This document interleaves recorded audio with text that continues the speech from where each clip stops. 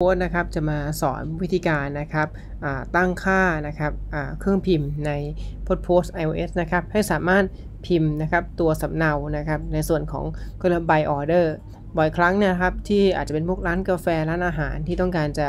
ให้มันเหมือนกับพิมพ์ใบเสร็จ แต่เป็นสำเนาอีกใหม่ชุดหนึ่งนะครับ แต่ว่าสำเนาตัวนี้ไม่ต้องโชว์ราคานะครับต้องการโชว์เพียงแค่จำนวนนะครับ แล้วก็ ชื่อสินค้า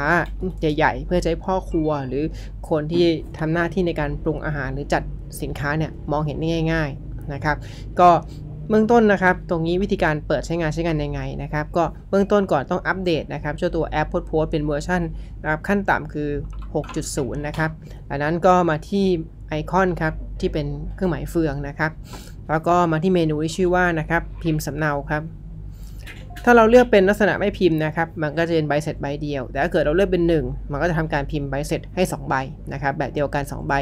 นะครับ 3 ก็คือ 3 3 ก็คือ 3 ใบนะฮะพูดง่ายคือไอ้พวกนี้คือพิมพ์ให้มันเหมือนกันนะครับ แต่ถ้าเกิดเราต้องการจะพิมพ์เป็นใบออเดอร์แบบนี้นะครับ อ่า ให้เราเลือกเมนูนี้ครับ การเลือกเมนูเนี่ย มันจะพิมพ์มา 2 ใบ ใบเสร็จอันนึงที่ให้ลูกค้ากับใบออเดอร์ที่เอาไว้เก็บเองนะครับ ก็กดตรงนี้กดปุ่มดันนะครับ แล้วก็สามารถที่จะ